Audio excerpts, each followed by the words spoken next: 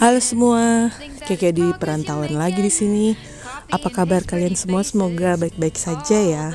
Kali ini aku mau berbagi cerita liburan aku waktu di Manado ya. Ini terlihat di salah satu mall di kota Manado yang namanya Mega Mall. Kalau kalian lihat ya di sini ada semacam prokes gitu, prosedur kesehatan sebelum memasuki area mall.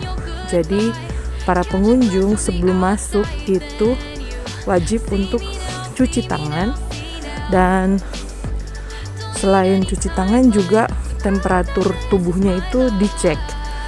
Jadi uh, ini prosedur kesehatan ini dilakukan untuk me, apa ya mencegah penyebaran virus corona. Menurut aku ini menarik banget ya bagus banget karena dengan prosedur seperti ini tentunya bisa mengurangi penyebaran uh, virus corona. Oleh karena itu di Sulawesi Utara ya yang aku lihat jumlah penderita pengidap virus COVID itu tidak terlalu banyak karena ya seperti ini ada tindakan-tindakan pencegahan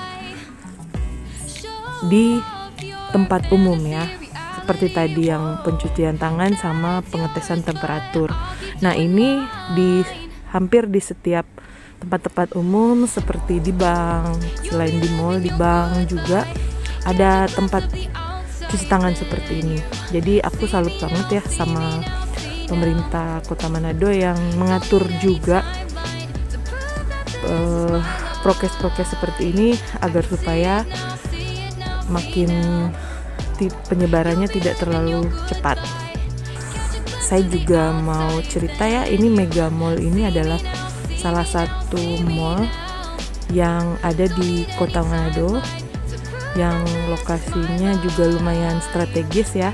Jadi sewaktu kalian berkunjung ke Manado, kalian bisa ke Mega Mall dan juga di dekat Mega Mall itu banyak sekali food court food court tempat makan ada juga hotel jadi kalau mau jalan-jalan khusus kayak untuk city tour gitu bisa kalian bisa cari hotel yang dekat dengan uh, daerah namanya kawasan Boulevard nah aku ada vlog yang lain ya ada hotel yang deket di daerah Boulevard ini dan di sini tuh kalian nggak perlu jalan jauh gitu ya karena semua bisa dijangkau dengan jalan kaki. Segitu aja dulu vlog keke perantauan kali ini dan terima kasih buat yang sudah nyimak sampai akhir. Sampai ketemu di vlog selanjutnya. Dadah.